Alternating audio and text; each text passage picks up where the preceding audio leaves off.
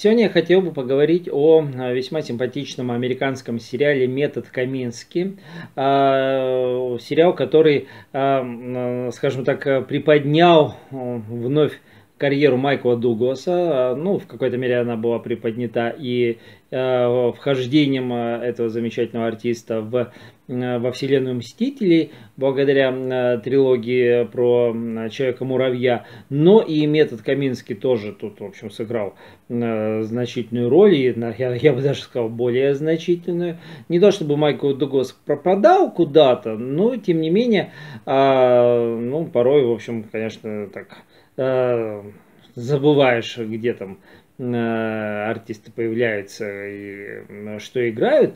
И, может быть, из числа последних э, его ролей, это может быть даже и не самая выдающаяся, но тем не менее, она как бы приблизила вновь вот некогда очень популярного артиста, вот особенно вот на рубеже, наверное, 80-х, начала 90-х годов, вот она его приблизила к сегодняшнему зрителю а вот такая ироническая, я бы так сказал, лирика комедийная э, вот в роль в этом сериале. Он играет артиста, а, который не получил своего, э, не прославился, а, ну вот стал вот один, одним из многих, и он, э, получается, даже не столько артист в последние годы, ну, во всяком случае, вот как нам представлен в сериале, он педагог. То есть он сам не играет нигде, да, то есть у него, если была какая-то точка такого его профессионального успеха, то она осталась далеко-далеко э, в прошлом, э, не особо нам как бы показаны его успехи, то есть не было особых успехов по сути, да, не, не, даже не на театральной сцене и так далее, но он состоялся как а, а, педагог, вот он учит а, вот, других, вот каким-то азам, и когда его спрашивают, а сам-то ты чего, ну, ну так, пожимает плечами, и, э, ну, вот, э, бывает и так. И на самом деле таких же примеров огромное количество, и взять и наши э, театральные школы или кино, далеко не всегда там преподают именно звезды кино и театра. Почему? Потому что звезды кино и театра, они и так заняты, они востребованы. То есть они, в общем, им есть, в общем, чем себя занять и без э, преподавания. И как раз очень часто так бывает, что каким-то профессиональным а, азам, каким-то основам э, учат люди, которые сами, получается, эти знания не смогли применить в реальной жизни, то есть не добиться какого-то значимого успеха. Ну, то есть, в общем, а это я, я сейчас э, сказал даже про только московские знаменитые такие вузы, да, где все-таки иногда могут быть какие-то мастер-классы или какие-то появления звезд. А уж что говорить о, обо всей стране, где, конечно, это, в общем, э, ну и говорить о таком не приходится, да, то есть э, о появлении каких-то таких действительно звезд э, на, в педагогическом, на педагогическом поприще, чтобы они себя как-то еще проявляли. Ну вот, в общем, этот э, Сэнди Каминский, который играет Майку Дуглас, он вот один из многих, получается. Но, тем не менее, своя студия у него есть. А, вот какая-то позволяет ему вообще с, совсем неплохо жить. Особенно, если, опять же, все время так э, хочется сравнивать эту ситуацию с нашей. Вот представьте, как жили бы наши обычные педагоги актерского мастерства и как живут в каких комнатках, да, ютятся, а у него дом, у него своя вот эта студия, в общем, так понимаю, там она либо его, либо он как-то удачно справляется с арендной платой, хотя там какие-то проблемы иногда возникают, но тем не менее, в общем, конечно, стиль жизни совершенно, в общем, не наш, а не с, вот э, с точки зрения какого-то такого а, профессионального пути он состоялся, ну, он да, над ним иногда подтрунивают, что собственных успехов нет.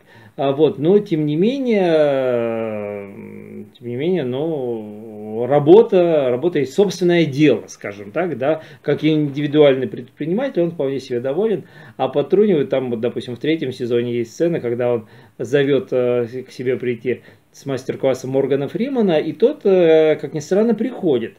А, и тоже начинается, в общем, э, там Морган Фриман приходит и начинает э, первым делом э, говорить о том, что у меня собственная студия есть, и приходите-ка лучше ко мне, потому что вот у меня вы действительно чему-то научитесь, а чему вы можете научиться у этого Камински. И тут, конечно, хозяин как бы этой студии немножечко так удивляется, вступает в спор, и выглядит все это, в общем, довольно-таки естественно, а потом они типа обыгрывают, что а это мы вас, ребята, мы вас разыграли, мы на самом деле хорошо к себе относимся, друг к другу, в смысле не к себе, а друг к другу относимся, и к себе, конечно, тоже. И, конечно, этот розыгрыш выглядит так себе, потому что на самом-то деле проговаривается, собственно, все вот это болезненное, а, все эти больные точки, Э, Морган Фриман, он как бы попадает, в общем, э, бьет по этому э, Каменске. А вот, ну, кстати, вот на самом деле, вот если действительно у Фримана есть своя студия и свои курсы, ну, вот тот пример, что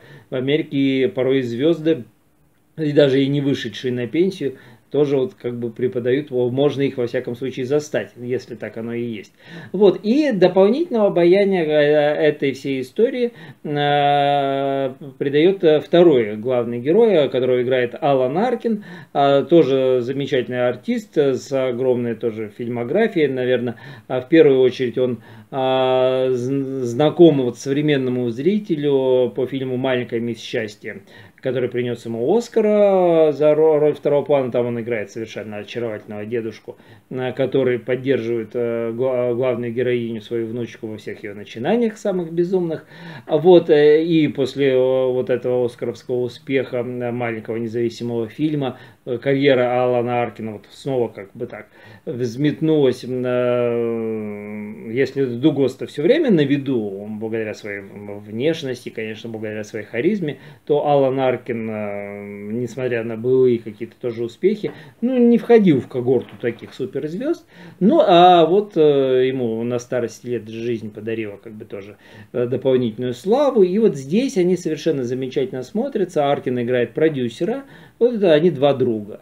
И на самом деле все первые два сезона, они просто происходят в разговорах. Какие-то сценки, какие-то ситуации. И вот этот их треп, прям же вот, а, ну, более-менее относительно жизни, э, не то что жизнерадостные, ну, по всяким житейским событиям. Конечно, они э, обыгрывают свою старость, свои годы, а, вот, что уже не все дается так, как раньше. Но, тем не менее, что-то дается, какая-то, э, ну, какие-то, в общем, все равно достижения есть. Вот есть жизнь, и хочется радоваться. И хотя, да, она порой вот действительно трудна, там и здоровье э, не очень, и, и что-то еще, ну, как-то вот, тем не менее, это их диалоги, они выглядели э, в первых двух сезонах, вот, которые выходили в 18 и 19 году друг за другом, все это было очень весьма и весьма симпатично, и действительно и было отмечено и рядом профессиональных наград, и там 10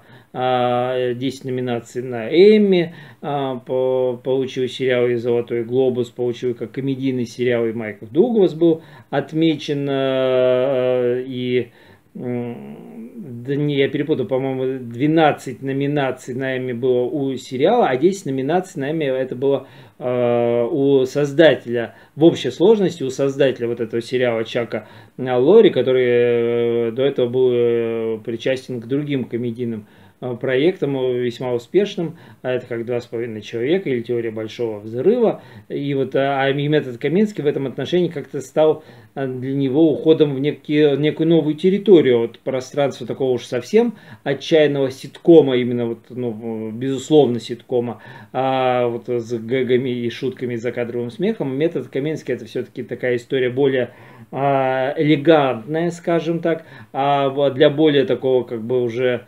подуставшего зрителя, то есть это не то, что вот комедия-комедия, это именно что лирическая комедия о таких уже старых людях. Майк Дуглас, конечно, превосходно держится, но не скрыть того, что 70-то ему уже есть.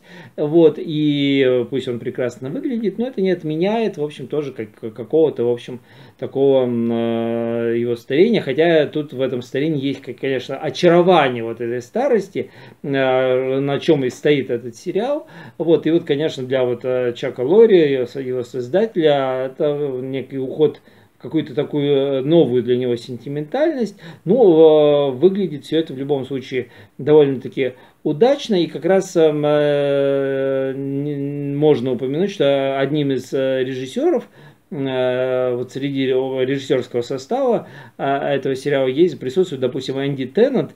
Это такой как раз мастер э, э, мелодраматической такой романтики американской, который в какой-то в период своей жизни вот прям строгал один удачный фильм за другим, вот именно в своем жанре. То есть он, э, допустим, в 98 году он снял свою версию «Золушки. История вечной любви» с Дрю Берримор. Потом у него была на, своя версия современная вот, знаменитого американского сюжета «Анна и король» с Джоди Фостер. А потом «Стильная штучка» а, с Ризу Уизерспун тоже довольно-таки успешно прошла, даже, по-моему, не довольно-таки, а была заметным американским хитом. А, потом а, правила съемами метод Хитча, это комедия с Уиллом Смитом уже такая. То есть это, ну, она как раз более такая в комедийном ключе решена, а в остальном это все вот такая смесь именно такой легкой романтики, а, мелодрамы, а, ну, вот с каким-то таким романтическим, э, вот не романтическим и комедийным таким началом, что-то такое, в общем, ну, где-то смешнее, где-то менее смешнее, да, правила съема, понятно, что это более такая, как бы, даже и не, не без захода в пошлость. Но я просто к тому говорю, что вот Энди Теннант, он на какое-то время даже стал, как бы, олицетворением вот подобного рода жанра. И то, что он, э, именно он участвует в создании этого э, сериала, как один из режиссеров, ну, тоже говорит, в общем, о, о той, э, скажем так, интонационной направленности, которая в этом сериале присутствует. А, и, конечно, меня очень расстроило, что третий сезон, который они выпустили, ну, с понятным, наверное, опозданием, там, наверное, и пандемия вмешалась, выпустили в 2021 году, то есть э, не через год, как э, э, до этого было, а вот с задержкой определенной, э, что он э, уже предстоя, предстаю, представляет нам этого Сэнди Камински в одиночестве.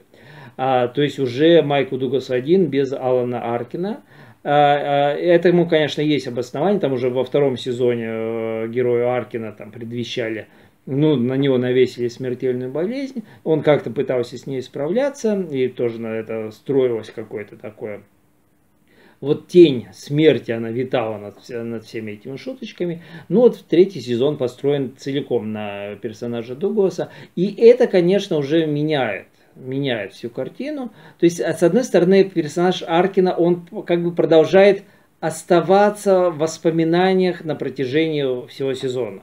Там э, первая серия построена на, на похоронах, и тут же, значит, э, призраком таким э, ответом из загробного мира э, появляется песик, которого э, зовут точно так же, как по усопшего друга главного героя. И потом все время, конечно, вот тоже воспоминания о том, что... И сам, на самом деле, вот это получается последним даром на своему другу был вот э, от этого продюсера была, было то, что он подсказал, что вот э, ну, знаменитому режиссеру Барри Левинсону, о котором мы знаем хотя бы там по «Человеку дождя», и здесь, судя по всему, он играет сам себя, он ему подсказал, что вот, значит, есть такой артист, Э, вот, к сожалению, неизвестный совершенно, но тем не менее хороший.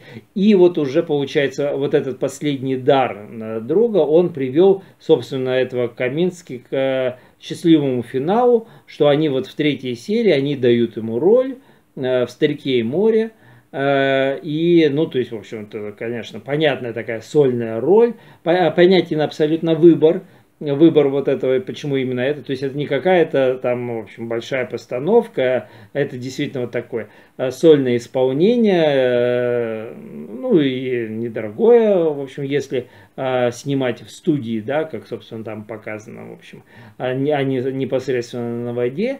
И, конечно, э, я боялся до самого конца, что, что же это окажется. Ну, то есть понятно, что они тянули этого Камински на Оскар, а, но все-таки нет, все-таки оказалось, что Барри Левинсон снимал телевизионный фильм, и поэтому закончилось дело а, все-таки Эмми, премия, но тем не менее, да, то есть вот хотя бы под конец, под конец своей жизни, под конец сериала создатели дали этому герою приз, вот, которого он был давно достоин, тем самым показав, в общем, что, в общем, а, нет преград возрастных для покорения вот э, вершины актерского мастерства. Ну, тем самым вот они как бы, конечно, не обманули, обманули нас. То есть это фильм, э, мне показалось, все-таки был изначально на другом, о том, что ну, человек вот принял, да, то есть вот себя как педагога, а тем не менее вот э, все-таки решили они раскрыть и доказать, что он большой артист, что он, да, что-то ну, это, это, конечно, тоже, это, кстати, история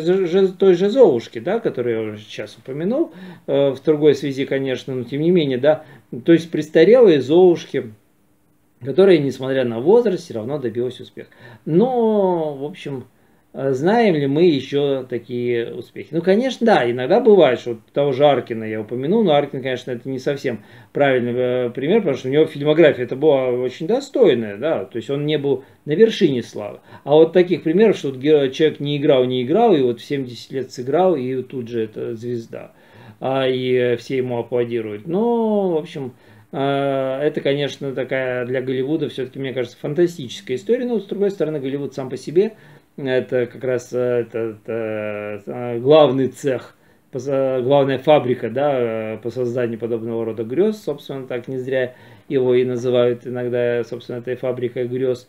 Но и вот здесь то, что они все это вот обыгрывают и э, таким образом э, героя э, возвеличивают, э, ну, ну, не знаю, не знаю, не знаю. Вот, и, конечно, очень обидно, что вот все-таки мне не хватило в третьем сезоне вот этого второго, получается, персонажа, персонажа Алана Аркина, хотя, то есть он по состоянию Э, ну, наверное, здоровья все-таки мог еще появиться. Это не то, что они убрали а персонажа, потому что актер уже не мог сниматься. Все-таки а, Аркин, вот он умер вот только что, э, ну, вот, э, недавно от того времени, когда я записываю ролик, в июле 23 года. И как раз вот любопытно, что смерть Аркина, она, получается, в какой-то мере совпала и с новым успехом Майкла Дугласа, который на Канском фестивале с какого-то ляха получил золотую пальму ветвь заклад в кинематограф. Очень непонятная для меня награда. Я не оспариваю достижения Майкла Дугласа, но в данном случае мне обидно за сам приз. А, то есть вот все-таки Дуглас не является вот безусловным кандидатом на получение этого приза. И что-то Канский фестиваль тут, по-моему, он ну, стал в последнее время выбирать не тех героев, он на том же, э, в, том же, в этом же году, в 23-м, он же и Харрисона Форда еще наградил этой э, награды, тоже э, замечательный артист. Но надо помнить, что э, э, тогда уж не имеют этой награды до сих пор Дастин Хоффман и Роберт Де Ниро, например, да, то есть, действительно, артисты, которые, ну, безусловно, считаются великими. Но, может быть, как раз и считается, что раз они и без того велики, они уже все получили, давайте мы отметим тех, кто, может быть, э, наградами менее обделен. Вот и Дуглас, и Форд, они э, как бы все время ближе к, считаются к развлекательному кинематографу, а тем не менее, ну, тоже они молодцы. Ну, хотя у Дугласа есть Оскар за, и, э, за главную роль, так что вроде бы тоже ну, свое доказал. То есть, э, ну вот э, и получается, что вот э, Дуглас э, на вершине славы, э, Аркин умирает, ну как бы э, жизнь, она получается повторила э, сюжет третьего сезона, но так как третий сезон-то вышел за два года до этого, э, то, то не знаю, то, конечно, э, они могли бы вот этого персонажа Аркина и не убивать. И даже в третьем сезоне, чтобы он продолжал как-то бороться, продолжал присутствовать.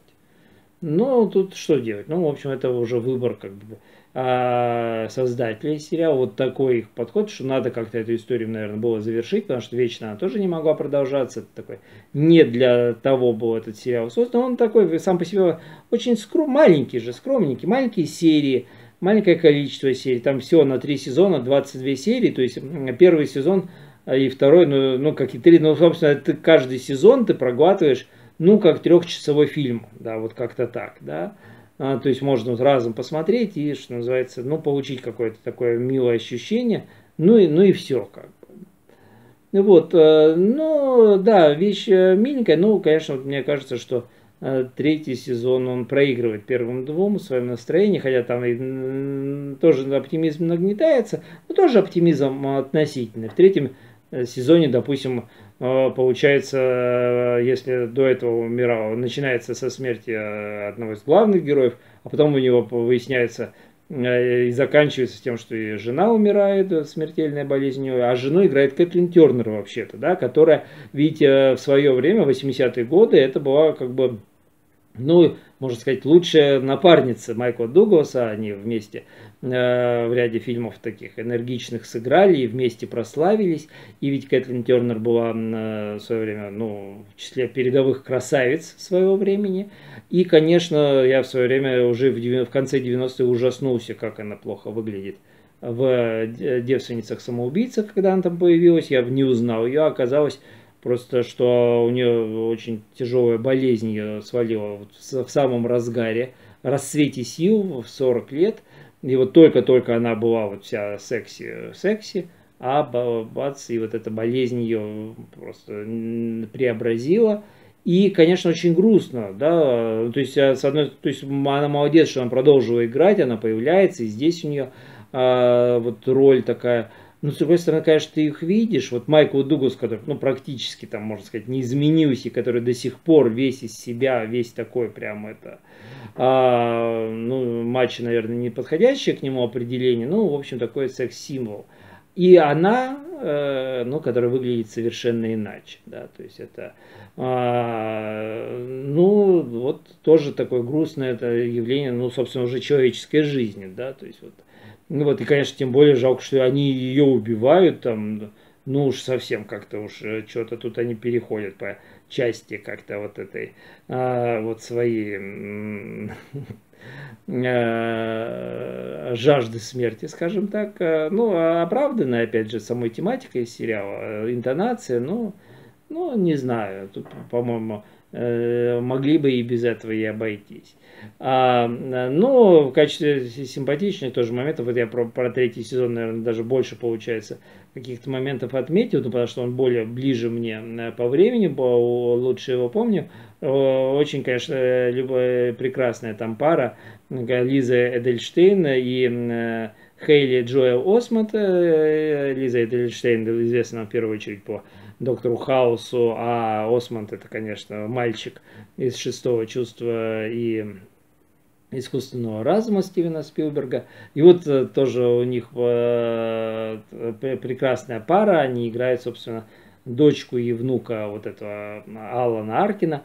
Я не очень помню, значит, наверное, они появлялись и в, первых сезонах, да, дочка-то точно там какая-то она проблемная, бывает тоже целый ряд, значит, с ней э, таких Э, проблемных историй было вот, э, в линии Алана Аркина.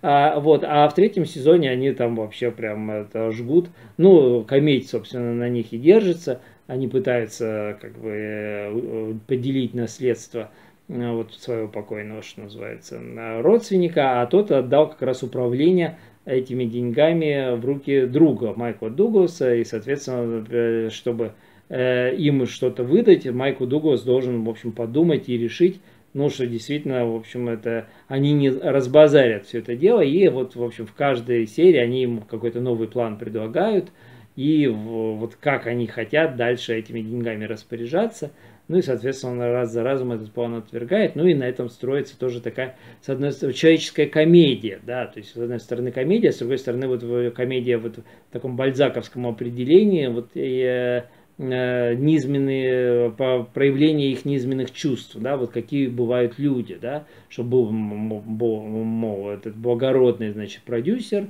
э, прекрасной души, светлый человек, которого играл Аркин, и вот какие вот у него дети, которые вот совершенно иного склада вышли, да, ну, может быть, он и сам виноват в том, что плохо воспитал, да, и дочку, и Э, и, и внука тем более. А, ну и смешная, конечно, в финале очень сцена, когда, они решают заказать киллера. Очень тоже долго, там тоже логическая несостыковка, что получается, прям проходит год от их э, момента их решения до момента, собственно, встречи с этим исполнителем. И каким образом, получается, этот э, герой Хейли Джоэла Осмонта эти деньги теряет.